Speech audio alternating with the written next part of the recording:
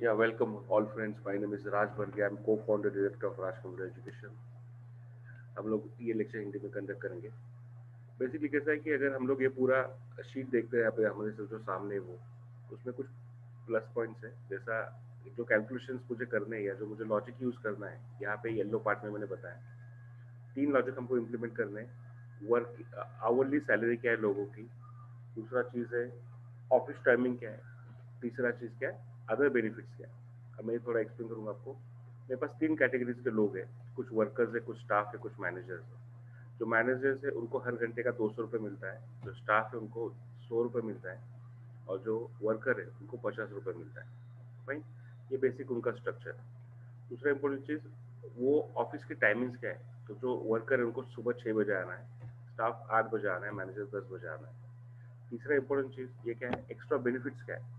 अगर कोई भी आदमी एक्स्ट्रा एक घंटा काम करेगा तो ये, यहाँ पे देखिए मैंने जो भी लोगों ने उस महीने में एक्स्ट्रा घंटे काम किए, वो डाल दिए। बराबर है? फाइन तो उन, वो कैसा डालेंगे हम लोग? बराबर है? उसका एक लॉजिक है। फाइन ये तो मैंने उनके टाइम शीट से देख के डाले कि कितना घंटा उन्होंने एक्स्ट्रा काम किया। लेकिन जो एक्स्ट्रा काम करेंगे तो अगर वर्कर एक्स्ट्रा काम करता है, उसके उसके आठ घंटे से ज़्यादा तो उसको मिलेगा सत्तर रुपये फिर जो दूसरा काम करेगा स्टाफ वाला उसको डेढ़ सौ रुपये मिलेगा और जो मैनेजर उसको दो सौ पचास रुपये मिलेगा। फाइन नॉर्मली कंपनीज़ में ऐसा होता नहीं जो स्टाफ मेंबर्स या मैनेजमेंट के मेंबर्स रहते हैं, उनको फिक्स सैलरी रहता है। उनके घंटे काउंट नहीं किए जाते। एज स्टूडेंट एग्ज़ाम्पल हम इसको कैरी कर रहे हैं। ठीक है? फाइन मैंने कभी नहीं देखा कोई भी कंपनी में मैनेजर्स को कोई सैलरी में कोई आवरली बेस का बेनिफिट मिलता है, उनको नहीं मिलता है। उनका काम रहता है, उनके लोगों से काम करवा देना फाइन ठीक है? लेकिन एग्ज़ाम्पल के लिए हम लोग कर रहे हैं। तो देखिए, पहले क्या करते हैं ना अवरली सैलरी कितना डालते हैं? अगर मुझे अवरली सैलरी डालना है तो मैं इस सेल के लिए सोचूँगा तो ये जो मेरा सेल है, वो कौन सा है? डी में से फाइव नंबर का मेरा सेल है। तो डी में से फाइव तो मैं इसका हर फॉर्मूला यहाँ पे लिखूँगा डी फाइव को कंसिडर करके। तो कैसे लिखता हूँ देखो? मैंने बोला इक्वल टू बराबर है? मुझे इस डी फाइव सेल में, इसलिए मैं बोलूँगा इफ़ अगर मेरा ये सेल डी फाइव सेल है, बराबर है? अगर ये इक्वल टू कैपिटल में मुझे लिखना पड़ेगा, क्योंकि मैंने बाजू में कैपिटल में लिखा है तो मैं लिखूँगा डब्ल्यू ओ आर के ई आर वर्कर अगर वो वर्कर है तो। इसके साथ अगर कभी ना, कभी स्मॉल या कैपिटल अगर आपने कंफ्यूज कर दिया ना तो कभी कभी प्रॉब्लम हो सकता है। उसके लिए मैंने जो आपको, आपने फ़ंक्शन सीखा था ना अपर केस या लोअर केस उसको कैसे यूज़ करते हैं, वो मैं एडिटिंग टाइम में आपको बताऊँगा। तो अगर बंदा वर्कर है तो उसका आवरली सैलरी का रेट रहेगा फिफ्टी रुपीज़ बराबर है? अगर इफ़ यहाँ पे फिर से मैं आ गया, अगर फिर से वही cell that is D five equals to अगर वो बंदा स्टाफ में S S T F F staff में, ये भी कैपिटल में लिखना पड़ेगा S T F F staff में, ठीक है? तो उसको सैलरी मिलेगा कितना? हंड्रेड रुपीज़ पर आवर और जो तीसरा वाला है मतलब अगर वो स्टाफ में नहीं है वर्कर नहीं है तो हो सकता है वो मैनेजर रहे, बराबर है? तो मैंने उसका सीधा सैलरी डाल दिया टू फिफ्टी क्लियर अब मैंने उसको एंटर प्रेस कर दिया। तो मेरा ये कुछ ना कुछ फॉर्मूलाज बन गया। देखो मैंने ना जो इफ़ कंडीशन है। फाइन जो मुझे कुछ तो बोल रहा है वो फॉर्मूला एरर्स बोल के। तो कि Excel formula error you enter do you want to accept the formula बोला हाँ एक्सेप्ट ठीक है? तो आप कुछ नहीं ब्रैकेट्स के बारे में थोड़ा काम रह गया था। मैंने पूरा कॉपी किया एंड नीचे पेस्ट कर दिया। तो ये मेरा सबका सैलरी आ गया। मतलब उनको कितना घंटे कितना घंटा मिलने वाला है? बराबर है। दूसरा ऑफ़िस का टाइमिंग क्या है तो सिक्स एट और टेन ऐसा ऑफ़िस टाइमिंग है तो मुझे सेम कंडीशन को लेना है। बराबर है? फाइन सेम कंडीशन को लेना फिर से मुझे लिखना पड़ेगा। इफ़ अगर मेरा वही, फिर से मुझे बोलना पड़ेगा वर्कर है स्टाफ है, क्या मैनेजर है? तो क्या कर सकता हूँ? इस केस में ना, मैं इस चीज़ को थोड़ा फास्ट बनाने के लिए ना, ये पूरा कॉपी कर देता हूँ। बराबर है? ठीक है और वहाँ पे आके, मैं फिर से उसको F2 करके एडिट करके वहाँ पे पेस्ट करता हूँ। तो यहाँ पे सब कुछ वैसा ही रेडी है, सिर्फ़ मुझे यहाँ पे फिगर चेंज करना है। वहाँ पे सिक्स ओ क्लॉक रहेगा, जहाँ पे सो है वहाँ पे क्या रहेगा? एट ओ क्लॉक रहेगा और जहाँ पे टू फिफ्टी है, वहाँ पे क्या रहेगा? टेन ओ क्लॉक रहेगा। और ये इसी हिसाब से पूरा काम भी करेगा। ठीक है? इसको डबल क्लिक करता हूँ, ये हो गया। ठीक है? लेकिन मैंने एक ध्यान रखा कि मैंने कुछ भी होने के बावजूद जो मेरा बेसिक सेल था जिसमें मेरा वैल्यूज़ है ये वाला, कौन सा? डी फाइव वाला, उसको डिस्टर्ब नहीं किया। उसके बाद उसके एक्स्ट्रा बेनिफिट मुझे एक्स्ट्रा कितना पैसा मिलेगा? तो मुझे एक्स्ट्रा पैसा जो मिलेगा, वो जो भी मेरा अमाउंट है, उसके हिसाब से मुझे मिलेगा। बराबर है? ये घंटे इनको कंसिडर करना पड़ेगा तो यहाँ पे मैं आता हूँ, मुझे इस घंटे के हिसाब से एक्स्ट्रा पैसा मिलेगा डिपेंडिंग ऑन उनका ग्रेड तो फिर से मुझे वही वही लॉजिक यूज़ करना है। मैं फिर से यहाँ पे गया। सब कुछ वैसा ही है। इसको मैंने कॉपी किया। फिर मैं नीचे आ गया। इसको मैं फिर से F2 करके एडिट किया, फिर वहाँ पे फॉर्मूला पेश किया। फिर बोला, अगर वर्कर है तो यहाँ पे मुझे फॉर्मूला चेंज करना है। तो ये G में से टू को मल्टीप्लाई करना है। किसके साथ? वो मुझे मल्टीप्लाई करना है सेवेंटी के साथ, क्योंकि सेवेंटी मेरा बेसिक अमाउंट है। फिर अगर स्टाफ है, अरे अरे अगर स्टाफ है तो फिर से मुझे सो नहीं लिखना है। उसके बारे में लिखना है मुझे फिर से ये ऑल टाइम है मतलब जी टू है। ये मल्टीप्लाई करेगा किसके साथ? 150 के साथ मल्टीप्लाई करेगा। एंड लास्ट कंडीशन जहाँ पे मैंने लिखा है लास्ट कंडीशन जहाँ पे लिखा है मैंने। तो फिर से ये जी फाइव है, इसको मल्टीप्लाई करना है किसके साथ? 250 के साथ मल्टीप्लाई करना बराबर है? तो ये एक्स्ट्रा बेनिफिट हो गया। क्लियर मैं इसको ड्रैग कर देता हूँ। अब मुझे क्या करना है? सैलरी देखना है। तो सैलरी 26 डेज़ के लिए। मुझे मालूम है कि ये मुझे कांस्टेंट वैल्यू रखना पड़ेगा। इसको मल्टीप्लाई कैसा करेंगे देखो अब इज़ इक्वल टू बराबर है?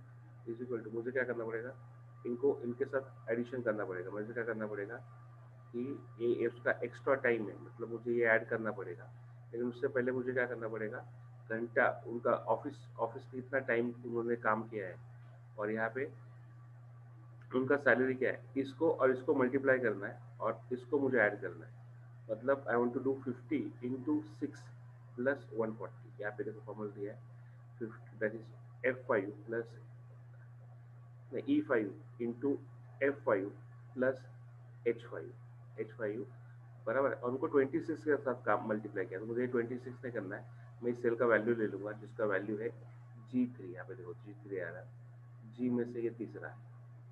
फाइन तो कैसा करेंगे इसको? वैसा ही इक्वेशन लिखेंगे। मैंने बोला equals to fine equals to यहाँ पे आ गया।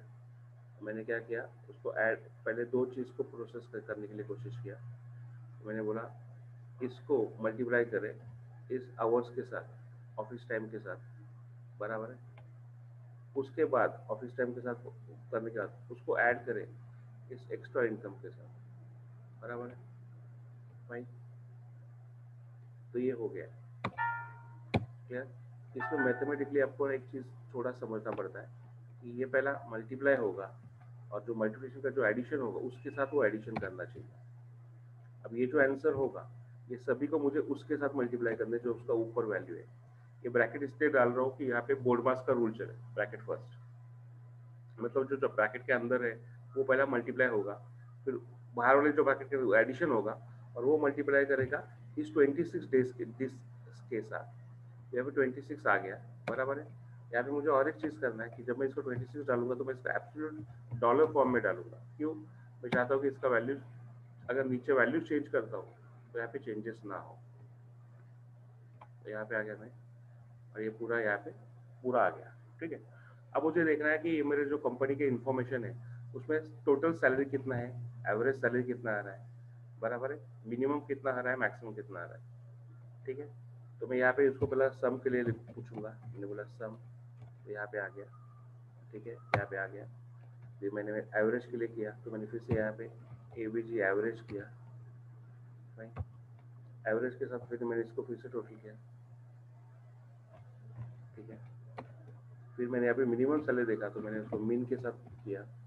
तो मिनिमम सैलरी कम से कम सैलरी कितना होगा मुझे बता रहा है? बराबर है? क्या तो गलती टाइपिंग में हो गया। आइए मैन गलती में टाइप कर देता हूँ। ये प्रोग्रामिंग की आदत है। और फिर मैक्स हो गया मतलब ज़्यादा से ज़्यादा सारे कितना होगा। एक चीज़ आपने नोट किया है, मैंने ना उसको हमेशा सिलेक्ट किया देखो। क्योंकि मैंने सिलेक्ट इसलिए किया कि मुझे ये रेंज मालूम है। इसी चीज़ को आप, जो पिछला चीज़ आपने सीखा था, उसके साथ कंबाइन कर सकते हैं। अभी देखो ना, हर बार ना मुझे वो रेंज देना पड़ता है।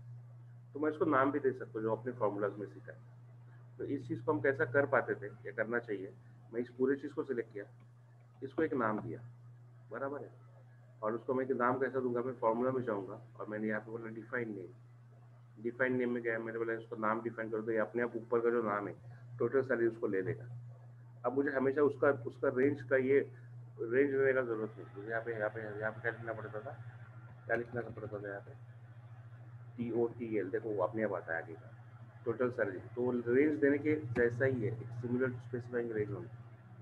तो मैंने क्या किया? अभी अभी मुझे यहाँ पे किसी भी चीज़ का रेंज देने का ज़रूरत नहीं बराबर? मैं सीधा उसका नेम भी यहाँ पे यूज़ कर सकता ये मैंने आपको पहला सिंपल वे से करके दिखाया, फिर जो मैंने आपको एक्स्ट्रा चीज़ बताया फार्मूला से, उसके हिसाब से फिर आपको बताया। तो कंपनीज़ में ये रेंज हमेशा चेंज हो है। क्लियर अच्छा सबसे इंपॉर्टेंट चीज़, मुझे लास्ट वाला जो देखना है कि मुझे देखना है कि यार कौन से बंदे लोग हैं जिनको हाईली पेड करते हैं हम लोग। हाईली पेड पीपल्स बराबर है? तो हाईली पेड कैसा कैलकुलेट करते हैं? उसको हाईलाइट कैसा करना है? देखो क्योंकि नॉर्मली कैसा रहता है, अगर ये जो कोरोना का पीरियड चल रहा है, इसमें लोग, इसमें काफ़ी सारी कंपनीज़ ना हाईली पेड लोगों को ड्रॉप आउट कर देती है। इसका ये रीज़न होता है कि अगर बड़ा सैलरी बच गया तो उनका सैलरी काफ़ी सारा हम लोग नीचे वाले लोगों में बांट सकते हैं। तो मुझे हाईली पेड ट्वेंटी परसेंट लोग चाहिए twenty percent highly paid peoples तो क्या करना पड़ेगा मुझे? यहाँ पे सिलेक्ट करना पड़ेगा। ये बहुत ही इंपॉर्टेंट है, ध्यान से देखो। फाइन यहाँ पे मैं होम में आ गया, बराबर है। यहाँ पे कंडीशनल फॉर्मेटिंग में आ गया, बराबर है। मैं यहाँ पे जाता हूँ हाईलाइट रूल बराबर है? तो मुझे ये पूछ रहा है कि greater than less than equal to वगैरह वगैरह। ये गलत बोल रहा है। ये मुझे नीचे वाला चूज़ करना है। टॉप ये परसेंटेज में मुझे देखना पड़ेगा। वो लोग ढूंढो। वो लोग ढूंढो, जो बीस टक्का है, और उनको हाईलाइट करो। मैं रेड प्लेसेस से हेड करके उनको ड्रॉप करना है। तो क्लिक किया। तो मुझे ध्यान में ये आ गया कि ये वो लोग हैं, बराबर, ये वो लोग हैं, जो हाईली पेड है। बराबर है? मतलब अगर मोटा मोटा मुझे देखना है कि कितना सैलरी बचेगा, अगर इनको मैं ड्रॉप करता हूँ तो मैं बोलूँगा S A V E saved S A L A R Y salary save salary कितना होगा? मैं यहाँ पे उसको ना इंडिविजुअली उसका सम करता हूँ। तो मैंने बोला ऐड करो X plus plus Y plus Z के साथ। तो मोटा मोटा टू लैख सिक्सटी थाउज़ेंड मेरे वाला सैलरी बच जाएगा। बराबर है? एवरेज सैलरी मेरे लोगों का क्या है?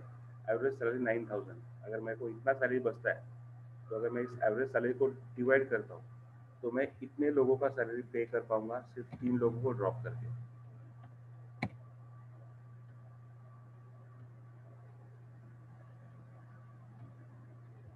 सत्ताईस लोग हैं। तो फिर सोचना पड़ता है कि क्या करें? तीन लोगों को टॉप लोगों के लग रखे या सत्ताईस लोगों के सोचे। तो कंपनी चूज़ करके या जिनके वजह से काम हो रहा है वर्कर्स लोग उनके साथ काम करते हैं। और यहाँ पे जो नीचे उसके कोई तो हायरिंग पर्सन मान लो पल्लवी है जिसने पूरा शीट बनाया फाइन फाइन तो उसको प्रमोशन कर देंगे as a manager fine and things will proceed that is all thank you